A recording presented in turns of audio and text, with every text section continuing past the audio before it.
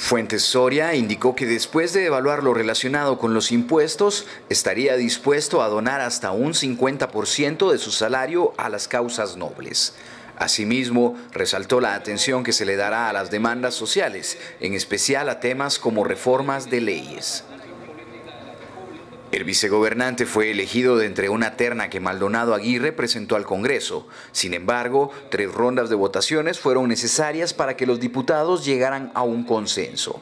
La tercera ronda fue la decisiva, pues en este caso el nuevo vicemandatario alcanzó 109 unidades y 33 desfavorables, mientras la economista Zelaya obtuvo 43 a favor y 99 en contra. Fuentes Soria es miembro del Consejo Superior Universitario Centroamericano hasta 2018, por lo cual dijo que pedirá permiso sin goce de salario mientras dura su mandato como vicepresidente. Fue rector de la Universidad de San Carlos en el periodo de 1990 a 1994. Para DCATV informó Carlos Alonso.